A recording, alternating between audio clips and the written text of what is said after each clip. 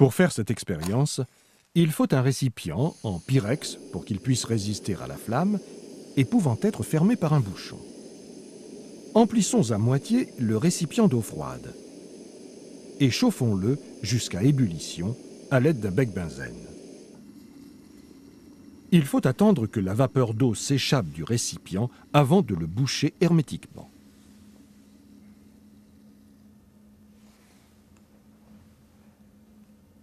Au bout de très peu de temps, l'ébullition cesse. À l'aide d'une pince, retournons le récipient et versons un peu d'eau froide sur son fond. L'ébullition reprend aussitôt.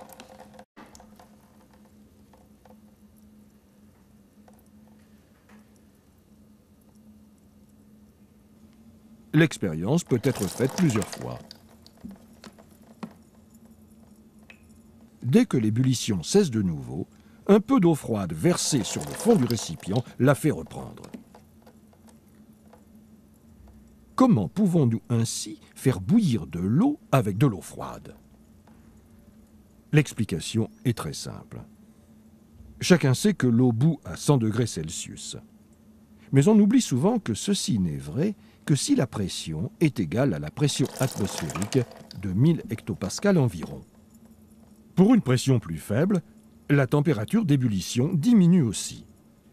Au sommet du Mont Blanc, à une pression de 500 hectopascales, celle-ci ne vaut plus que 85 degrés.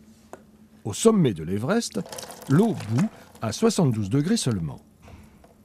Lorsqu'on a bouché le récipient, l'atmosphère au-dessus de la surface de l'eau était essentiellement constituée de vapeur d'eau à la pression atmosphérique.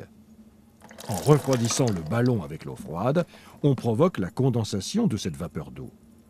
Comme le ballon est hermétiquement bouché, cette condensation crée une diminution de la pression dans le ballon et l'ébullition reprend.